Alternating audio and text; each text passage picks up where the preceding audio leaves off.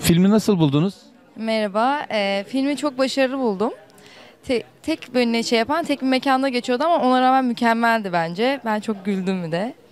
Ee, ve oyuncuları da gerçekten çok başarılı buldum.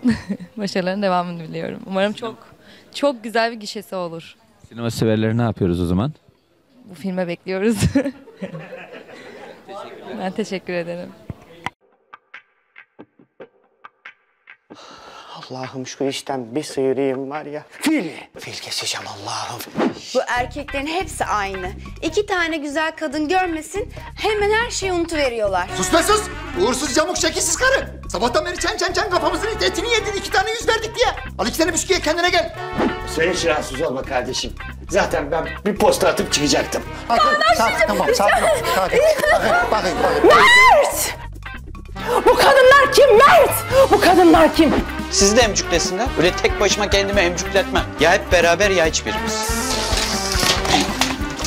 Vallahi tahmin ediyordum, şüpheleniyordum bundan pezevenk işte. Beddua okum oğlum bu nasıl beddua lan? Değil efendim. Değil. Dandik yüzük evlenme mi teklifidir ya? Anasını, babasını, halasını, teyzesini, dayısını, karısını, kızını hepsinin var ya ta Dört aydır veresiyeleri ödemiyorsunuz. Bir de şov yapıyorsunuz, başka marketlerden alışveriş yapıyorsunuz. Kimsiniz lan siz? Affetmeyeceğim seni. Sen ne kadar istesem de, ne kadar arzulasam da, alev alev yansam da seni affetmeyeceğim. Sen sus seks manyağı. Ne yapıyorsunuz lan? Bütün konsantrasyonumun içine sıçtınız. Açılan şu kemerli kapısını. Cansız mankene evlilik mi teklif ettiniz? Jennifer, beni bırakma Jennifer. Heh, heh, hadi. Sana ayrı kıcığım Faruk. Şu anda açık açık söylüyorum. Bu kapıdan dışarı çıkanı sikerim. Ay hadi inşallah. Biz sikeceğiz.